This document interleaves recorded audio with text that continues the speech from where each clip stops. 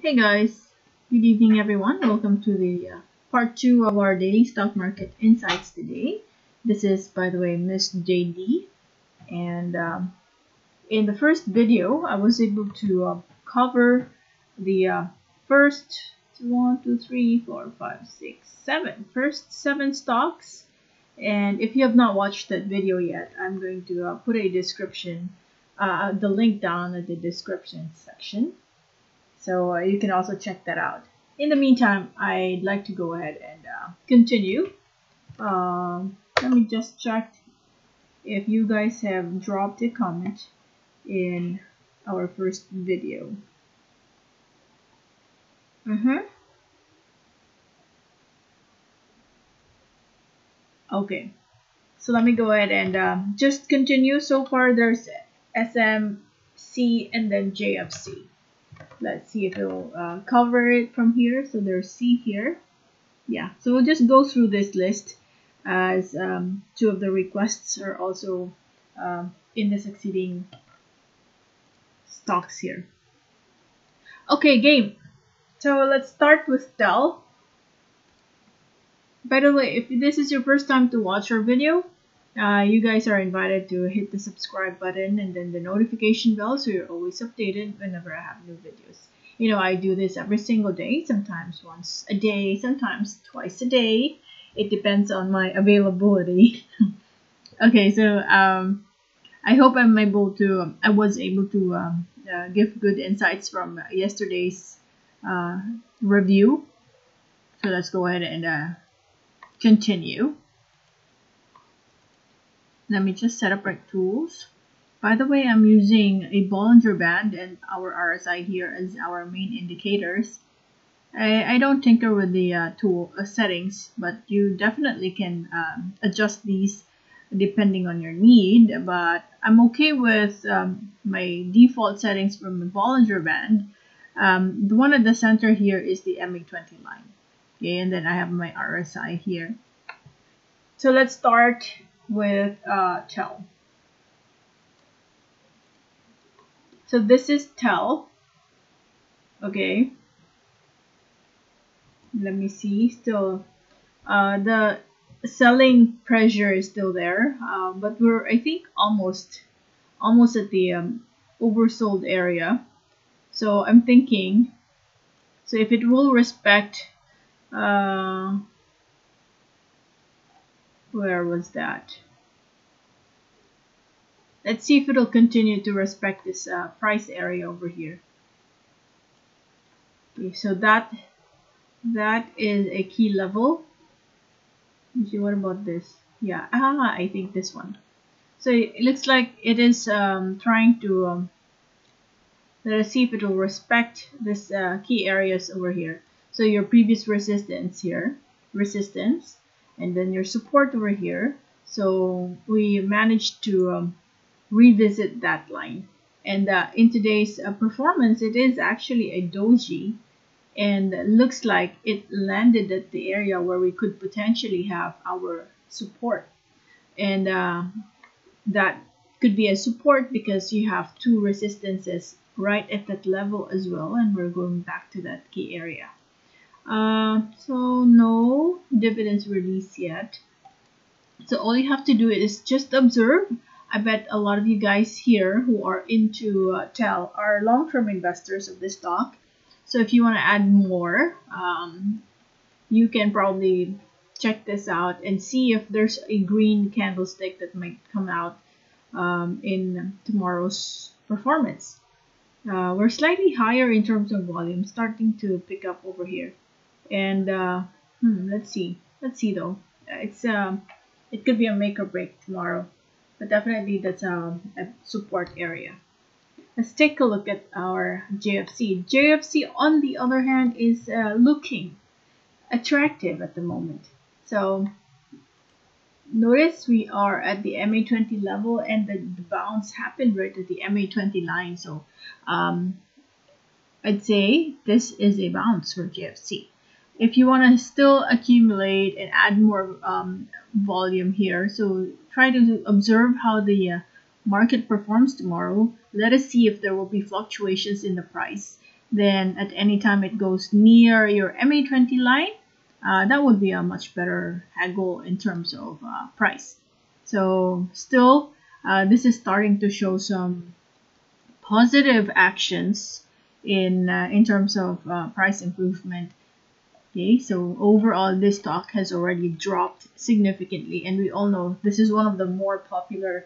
Um, this is one of the most popular uh, index or stocks stock in the index uh, because a lot of people are also invested in here. So just find your entry. I know this stock has been badly hit by the uh, pandemic, but there was a news around this. I think I read a news about uh, JFC opening. Yeah, this is the one.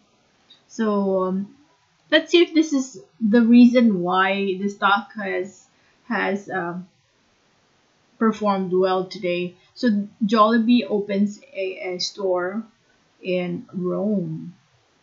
This one over here. And this one is in Via Ottaviano, a location 8 minutes away from the Vatican City. So imagine that. Um, looks like the cash flow of this uh, company is still surviving or still good because despite the pandemic um, around the globe, uh, they're still able to uh, perform this. Uh, so let us see. Let us see. I have not really opened the uh, PSE Edge, uh, but um, that's a, a sign of recovery, uh, if I may say. because um, number one, in the Philippine market, we're starting to open up, and um, companies have started to innovate in order for their businesses to survive. So a lot of um, you know uh, delivery services are also starting to emerge, and uh, this means Jollibee and all the major uh, restaurants are now able to uh, continue the operations, and then of course there there's a lot of there are a lot of improvements in how they run their business, but they're back right on track now. Um, it could just take some time. That could be the reason why uh, sideways is still uh, ongoing at this point. But definitely, I'd have to say this is the accumulation stage for Jollibee and some of the major stocks in the index. So let's just use the MA20 line, guys. So uh, 137, 138, that would be a good um, price level to um, to enter at. Okay, let's continue. BPI. BPI, on the other hand, revisited the MA20 line and we're still on sideways. How does the, uh, so there's, there's no uh, news so far. So still at the MA20, let's just observe if uh, it will continue to hold at that level. So we all know that when we are starting to move higher than the MA20, your MA20 could potentially be uh, your support. Um, slightly higher or lower still the same because it you know we all know that it is an area when you you create a support don't it's not right on the spot. Okay so it could be 65 or uh, yeah 65 to 64 around the key level. Next is C. So the chart of C looks almost the same as our Dito so if I am to plot our uh, key levels here, um, the nearest support would be 485. And we just do not know. Um, maybe tomorrow, because Friday is a profit-taking day, but given the setup, this could already mean a sign of, um, you know, a bounce. Reason for saying that is uh, if you look to the left, you see this.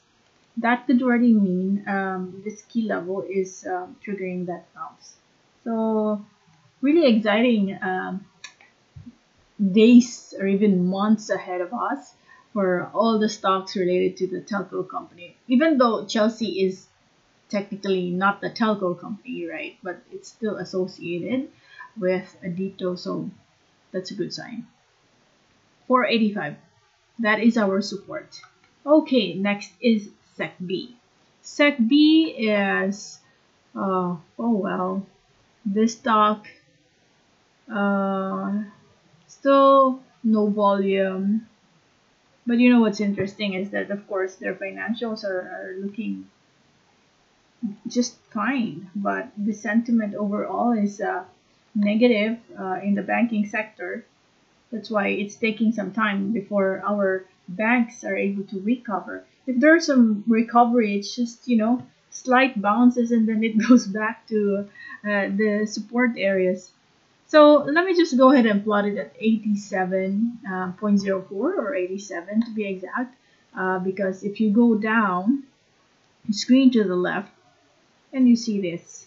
So that's the nearest area where you have some consolidation right there. So now I'm plotting that as our possible support okay the next one is BDO BDO as well. Look at that still sideways. So I personally have um, um, significant amount invested here in my portfolio. And uh, I'm just totally fine with it because look at this. Look at where we are at the moment. We're still at the bottom over here.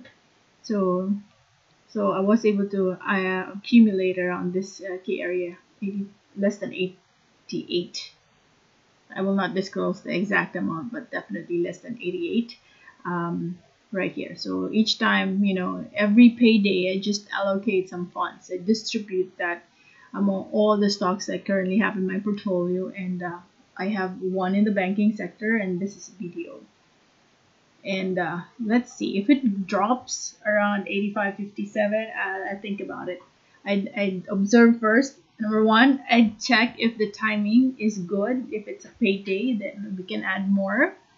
Um, if not, then we'll just see which of uh, my stocks in my portfolio have uh, a much better, uh, you know, setup at that time. So just go ahead and plot that key level because obvious, it's so obvious as you can see here. One, two, three, four, five accumulation right here or consolidation right here.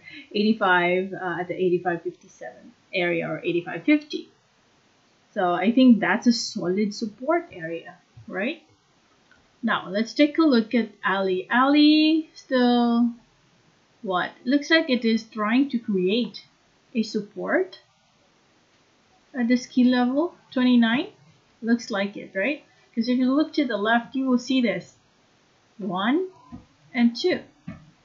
And over here, even though we are slightly lower than the MA20 line, what's interesting is it's just consolidating at that area. So maybe uh, anywhere between 29 and 30, that's already a good area to uh, start buying. And look at this, there's a uh, slight increase in the volume. See that? So maybe that's something you can check out. yeah so what you can do as well try to do this okay there and then it's like an asymmetrical triangle really um, let's find out if it will continue to break either of uh, the two sides so if it if it breaks this area okay your threshold is um, up to this level. Maybe if it goes lower than this if it goes lower than 29 uh, then you can cut your you know cut your losses. Um, however my best recommendation because this area here is a bit risky wait for it to break out of this uh, downtrend uh, resistance over here so this is currently acting as your resistance it was uh, it created a lower high but in the event it breaks that then you have a sh possible shift in the direction. Okay, it might potentially create this time around a higher high. Okay, do you see that? It might, uh, once it breaks that, it can probably create something like this. Yeah.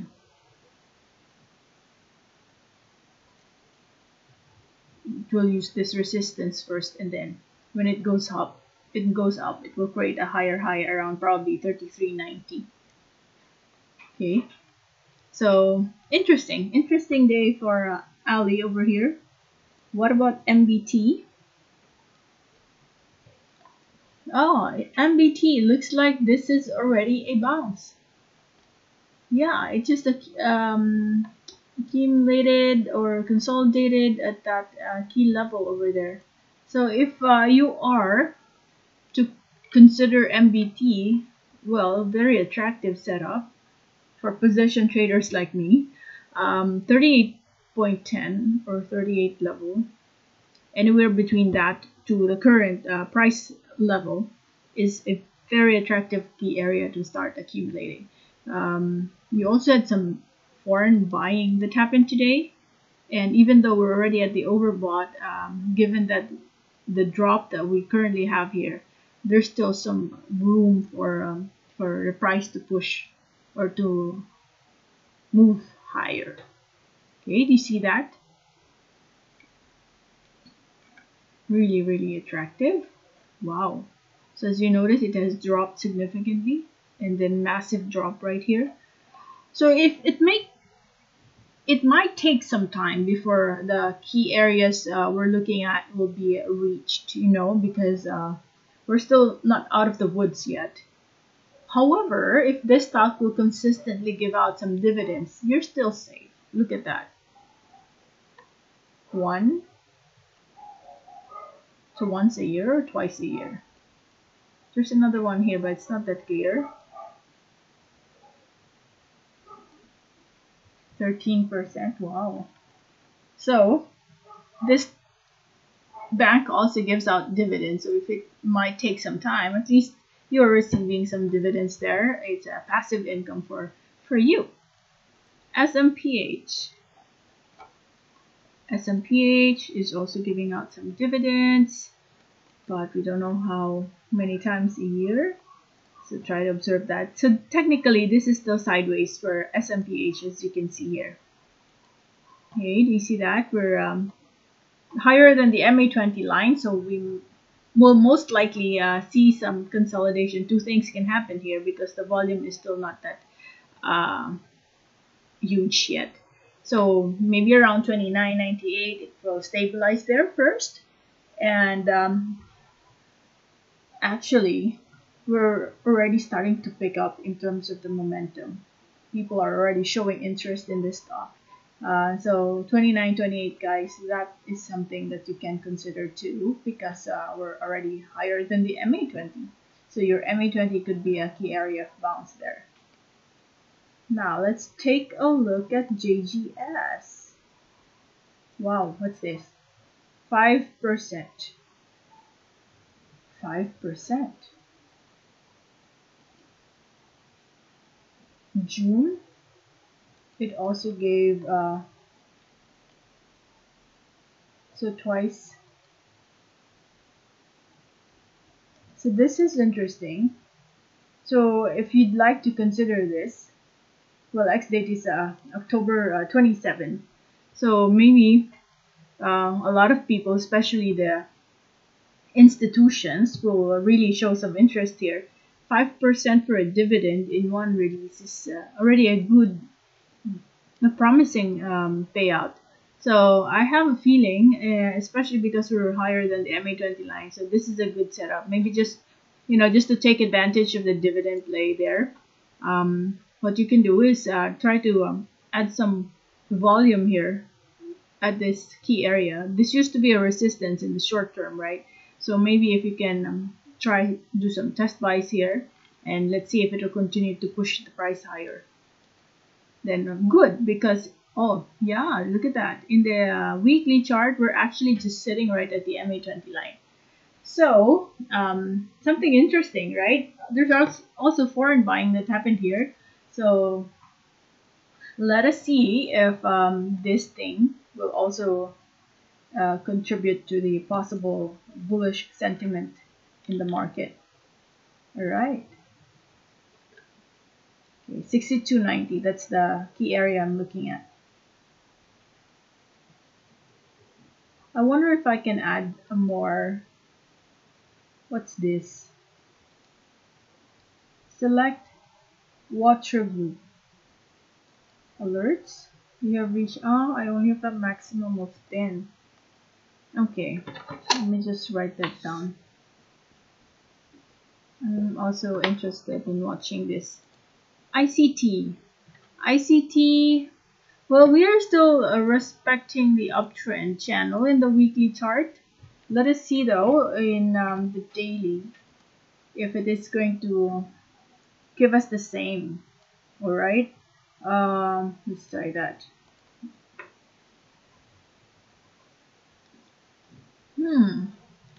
So look at that. It's still respecting. Actually, we're very near the MA20 line. So if you want to consider that, wait for it to drop probably near 110. And if uh, it respects this uh, uptrend uh, support, then good. But if it negates that, it goes lower than that, you know what to do. If you are trading, number one, if you are trading, then practice uh, cutting your losses early in the game. Don't wait for it to, to drop so much before you cut your loss because that's really difficult to swallow. Okay, um, so in case it drops, try to as early as I mean before you even enter, anticipate that key level. So if that key area is reached, so you can cut your loss. But if you're a long-term investor here, uh, you're already halfway, by the way so this was the top see that so we're already almost there. So if you're a position trader for me I'd say this is not my game. MWC okay. So again this stock uh, has been already profitable. Yeah, it has climbed so much and people are now taking profit. Third day straight of a red um, let us see if there will be a slight bounce there. But normally when it bounces, if the sentiment is really overall negative or uh, bearish, when it drops and it recovers, it creates that lower high. So normally, so if we are going to uh, anticipate that, this could be the uh, channel over here.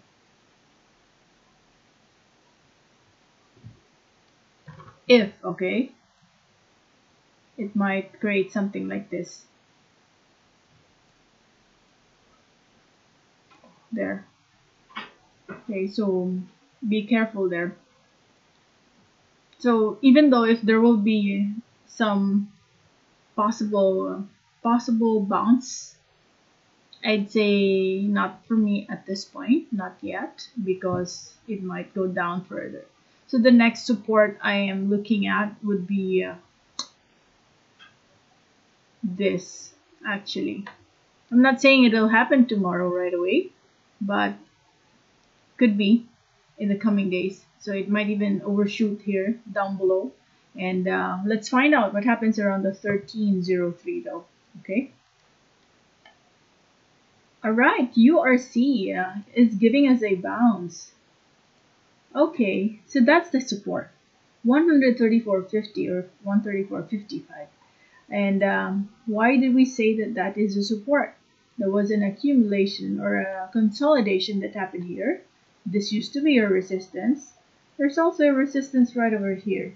So those key levels will validate our our insights, right? So for now, 134.55. What about the news? Do we have any? No, not much. Okay, what about SM? SM, wow, there's a big volume. What could this be?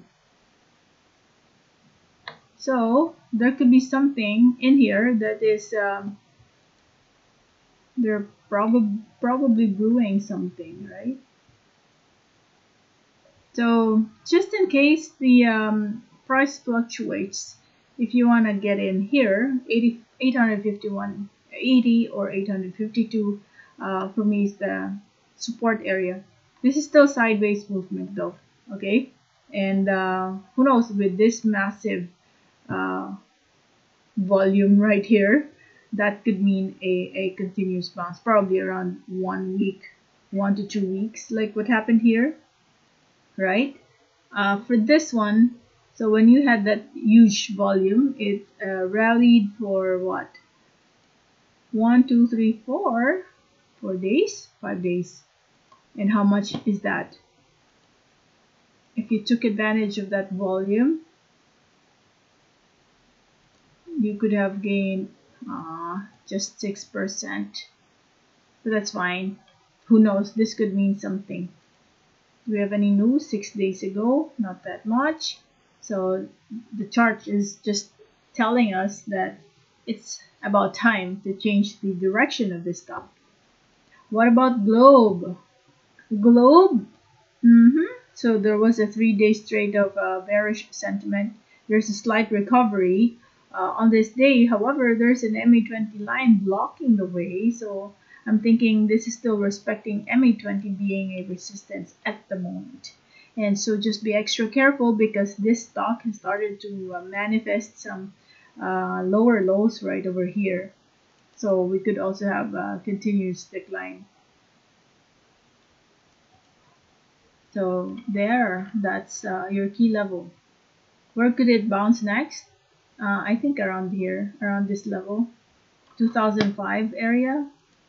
But mind you guys, you know, um, right now people are just um, excited about the fourth telco or the third telco and the other telco companies because um, Globe and uh, PLDT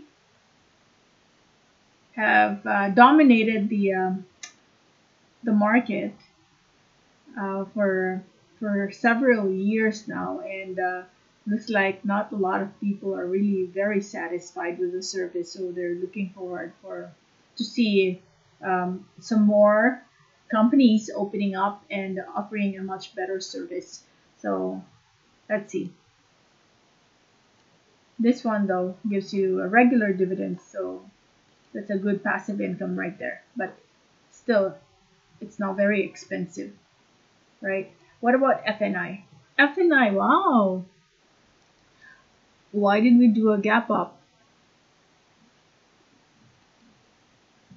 Two months ago, so it's just uh, probably uh, just a bounce.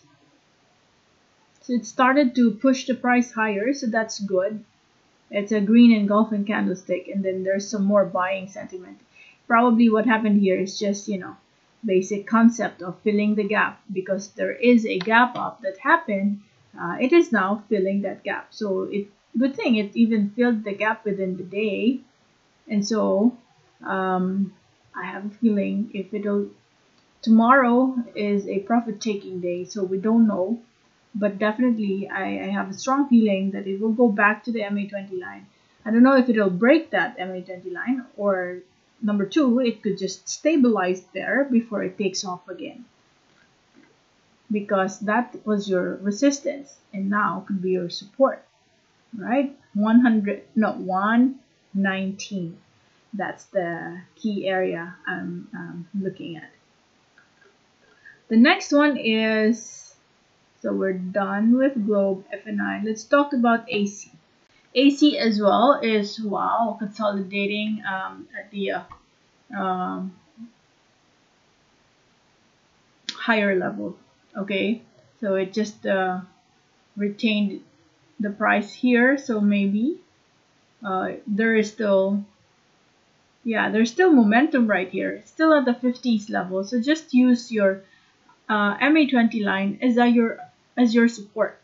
If you want to add uh, some more volume or if you want to consider entering right here actually. Okay so that is our uh, support. 709 guys Okay, so if you want to um, get in here, just of course, understand your profile, you personally. You have to reflect on that. Uh, why do you want to engage in the stock market? Do you want to be a trader or are you an investor? Okay, so either way, even if you're a trader or an investor, you have to master number one, you have to know your role, what kind of profile you have. So you know your tolerance level to risk, and um, of course your profit taking levels that that will influence that kind of mindset at the same time regardless of your uh, profile i highly highly recommend for you to be very vigilant in watching the news number two take the time to understand their financial um, situation given uh, the period we are in, which is a pandemic. Number three is study the technicals. There are a lot. So if I'm to click this, the list is so long. There are so many indicators out there that you can use. You don't even have to follow mine. You don't have to use Bollinger Band. Um, but of course, uh, the key message here is try to look for that uh, indicator that helps you become proficient at, at trading or investing and uh, stick to that. It's not good for you to hop from one indicator to the other because it does not, um, you know, it does not build the skill. Do it like this one, what we are doing, and I've been doing this for more than a year now. I have a YouTube channel. I've been recording uh, my insights for more than a year now. I don't use anything. I only use this. And it is still a journey, you know um, we want to make sure that our accuracy rate is always improving. So that's why I, I make it a point to just use this. And another best practice that I can share to you is that, uh, you know, there's the recording. There's this video, and then tomorrow is a market day. Uh, what I would normally do is go back to these videos that I record and uh, try to understand if uh, my my thought process is aligned to how the market ended. That way, if uh, my my thought process is correct, then I reinforce that in my trades. I've been doing that for the past one year. So you know how they would um, advise you guys to keep a a journal of your trades. This is my way of journaling my thought. It's not my trade though, but um, the thought process itself. I document this. So if I become an expert someday, right? If I become a super expert someday and I go back to how I, I see my charts 10 years before or 10 years backwards, I still have a record of those through my videos over here. So I'm really excited to look back to my my analysis from way way back. Only if I have the time. But for now, um, the practice I do is on a daily basis. So this video is going to play again uh, after the market closes tomorrow. So maybe that's something you can also do if you if you can go back to my videos, probably you can do the same.